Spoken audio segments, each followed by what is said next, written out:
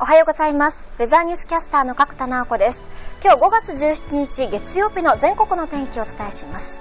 今日は低気圧や前線が日本列島を通過し、全国的に雨が降ります。ただ沖縄は引き続き梅雨の中休みで強い日差しが照りつけます。熱中症対策や紫外線対策を万全にしてください。西日本や中部は今日も本降りの雨となります。一時的に激しい雨や雷雨となる恐れがあります。道路冠水や河川増水の恐れもありますので十分にご注意ください。九州北部や中国地方は午前中心の雨となりますがその他のところでは一日を通して降りやすくなります。関東は雲が広がりにわか雨の可能性があります。折りたたみ傘をお持ちください。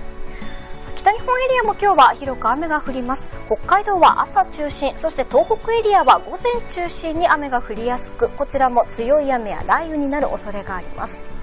特に前線が通過する秋田や山形、庄内周辺では一時的に激しい雨となる恐れもありますので十分にお気をつけください。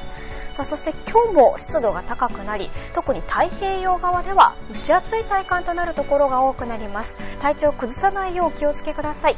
一方で東北から九州にかけて日本海側のエリアでは前線が通過することで気温は横ばいもしくはゆっくりと右肩下がりというところも出てきます。少しひんやりと感じじられる可能性もありますので服装にお気をつけください。ではここからは今日の傘マップを見ていきましょう。傘が必要なエリアを確認していきます。